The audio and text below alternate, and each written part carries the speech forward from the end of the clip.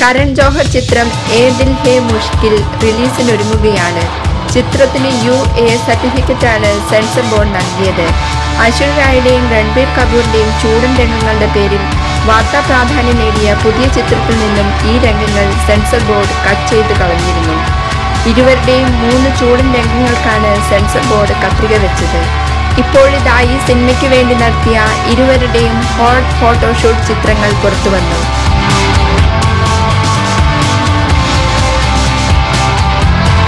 Aishwarya റായുടെ glamour look തന്നെയാണ് പ്രധാന ആകർഷണം.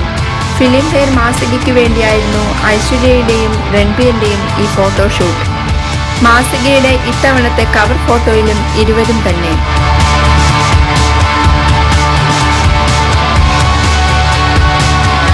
എന്തായാലും ഈ ഫോട്ടോഷൂട്ടിലെ ഐശ്വര്യയുടെ ഗ്ലാമറിനെ പറ്റിയാണ് ആരാധകരും ബോളിവുഡ് ലോകവും ചർച്ച ചെയ്യുന്നത്. നേരത്തെ സിനിമയിൽ സജീവമായി തിരിച്ചെത്തിയിരുന്നെങ്കിലും ഗ്ലാമർ വേഷങ്ങളിൽ നിന്നെല്ലാം ഐശ്വര്യ അകന്നു നിന്നിരുന്നു. സർബിജിത്താണ് ഐശ്വര്യയുടേതായി അവസാനം പുറത്തിറങ്ങിയ സിനിമ.